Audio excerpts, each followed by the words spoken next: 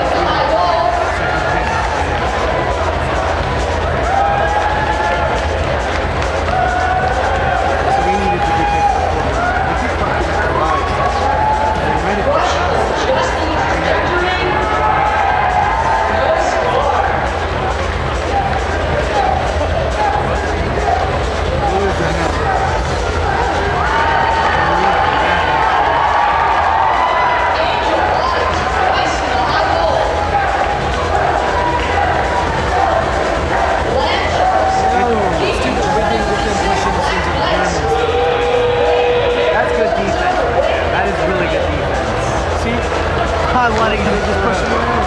Push him in. Pushed him